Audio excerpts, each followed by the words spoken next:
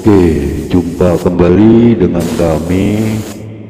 Kami akan memberikan sedikit caranya memperbaiki keran otomatis biasanya digunakan di apa namanya di bak mandi atau di bloom atau di toren tempat penampungan air seperti ini pada air kecil sekali kecil sekali kita akan memperbaiki biar lebih besar keluarnya.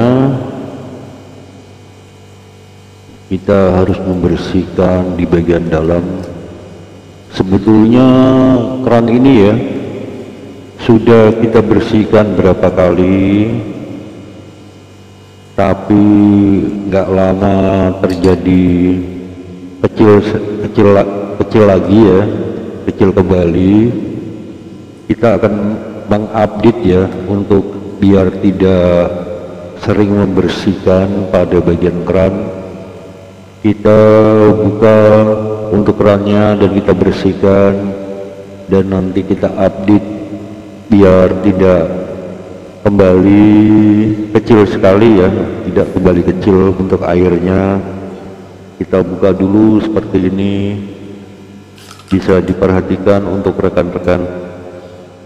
Sebetulnya mudah ya kita tidak nanti kita tidak usah sering membersihkan. Kita akan update biar lebih stabil di bagian tekanan udara atau tekanan balik Oke, bisa diperhatikan untuk rekan-rekan.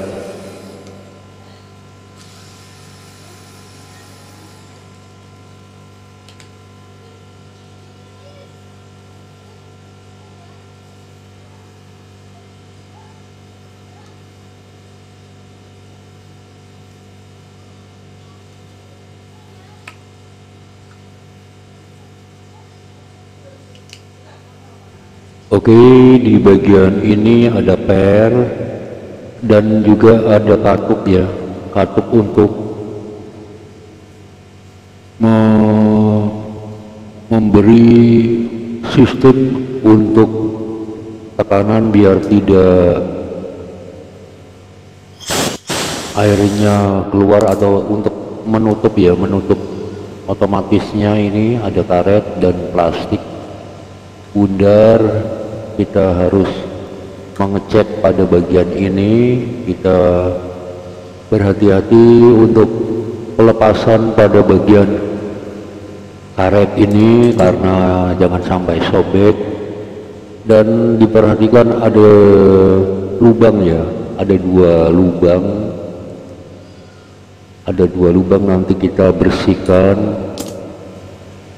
Seperti ini perhatikan ada lubangnya yang kecil sekali ya terjadi buntu pada bagian untuk penutup keran ya. Dia sistemnya dia tekanannya dia menutup dari tekanannya sendiri ya.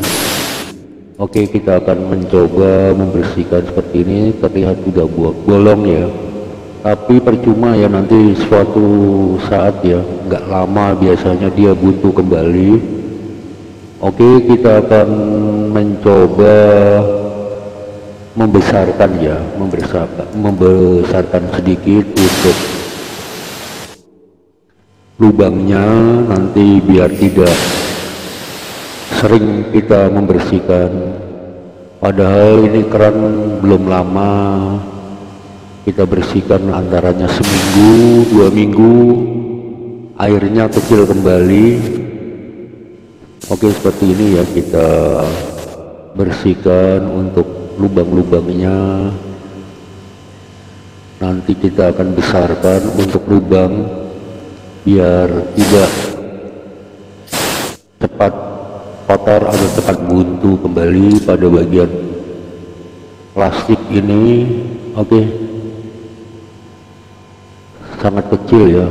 Karena kalau terlalu kecil ini kemungkinan kotoran nanti bisa kembali.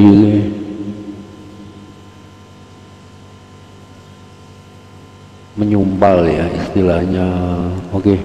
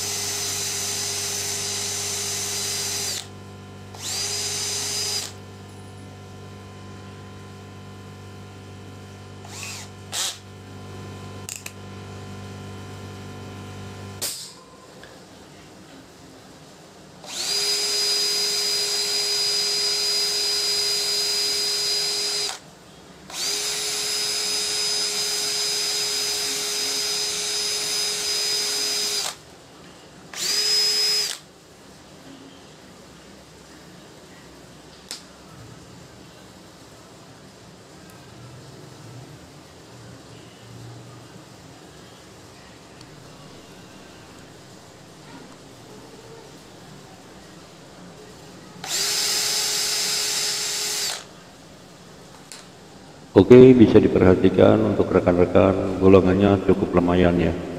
Satu mili kita bolong. Nanti kita akan kembali pasang. Bisa bisa di, diperhatikan untuk rekan-rekan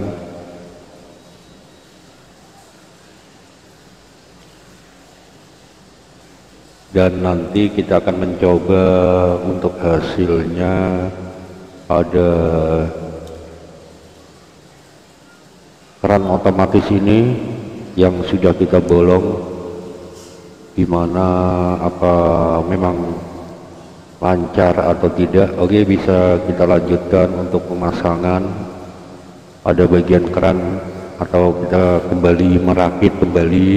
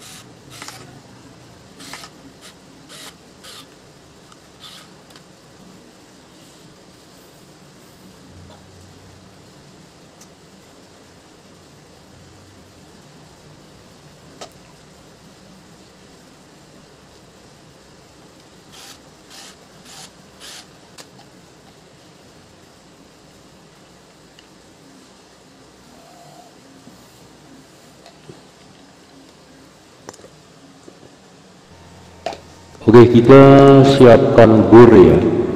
Mata bur kecil ya mata bur kecil yang paling kecil kalau bisa. Biasanya digunakan untuk mengebur PCB ora enggak oh enggak salah. Yang paling kecil tidak tahu ya pokoknya satu mili lah.